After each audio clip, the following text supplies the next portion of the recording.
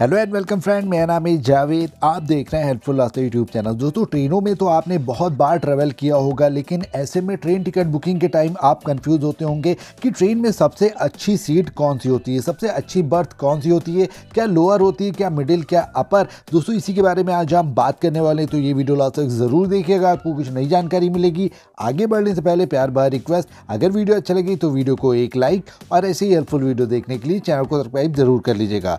दोस्तों, हम बात बात कर रहे हैं सबसे अच्छी बर्थ की ट्रेन में। तो ऐसे में ट्रेन भी कई तरह की होती हैं। तो पहले शताब्दी की अगर हम बात कर लें, शताब्दी एक्सप्रेस में चेयर कार होती है। चेयर कार की अगर हम बात कर लें तो ज़ाहिर सी बात है लोग विंडो पर बैठना पसंद करेंगे। तो शताब्दी के लिए तो बेस्ट सीट हो गई विंडो वाली, क्योंकि विंडो सीट पर बैठेंगे और बाहर के नज़ारे देखेंगे।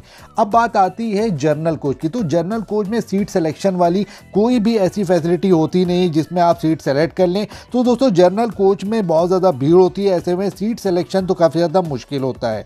दोस्तों, बात करते हैं स्लीपर कोच या फिर एसी कोच की। तो स्लीपर कोच की अगर हम बात कर ले, वहाँ पर कुछ इस तरह की सीटें आपको नज़र आएँगी।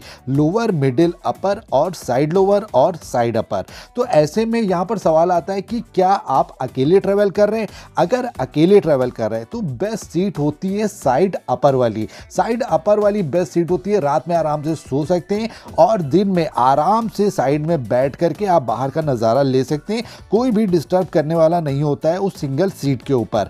और अगर आप दो लोग ट्रैवल कर रहे हैं तो भी बेस्ट होगी साइड अपर और साइड लोअर सीट ये दोनों सीटें काफ़ी ज़्यादा बेस्ट होंगी अगर आप दो लोग ट्रैवल कर रहे हैं। क्योंकि वहाँ पर आमने सामने दो लोग बैठ करके बातें भी कर सकते हैं और आराम से बाहर का नज़ारा देख करके मज़े भी ले सकते हैं। दोस्तों, अगर हम बात कर लें आप फैमिली के साथ, बच्चों के साथ ट्रैवल कर रहे हैं या फिर सीनियर सिटीज़न के साथ ट्रैवल कर रहे हैं तो ऐसे में आपको नीचे वाली सीट सीट यानी कि लोअर बर्थ काफ़ी ज़्यादा ज़रूरी होती है, क्योंकि सीनियर सिटीज़न और बच्चों में गिरने का खतरा ज़्यादा होता है, इसलिए सबसे बेस्ट होती है लोअर सीट दोस्तों आई थिंक आपको समझ में आ गया होगा, अगर आप सिंगल या फिर डबल या फिर फैमिली के साथ ट्रेवल कर रहे हैं तो सबसे अच्छी सीट आपके लिए कौन सी होगी? दोस्तों, ये इन्फॉर्मेशन कैसी लगी कमेंट बॉक्स में ज़रूर बताइएगा। अच्छी लगी हो तो वीडियो को लाइक शेयर और चैनल को सब्सक्राइब ज़रूर कर लीजिएगा। मिलते हैं नई वीडियो में नई इन्फॉर्मेशन के साथ। Thank you so much for watching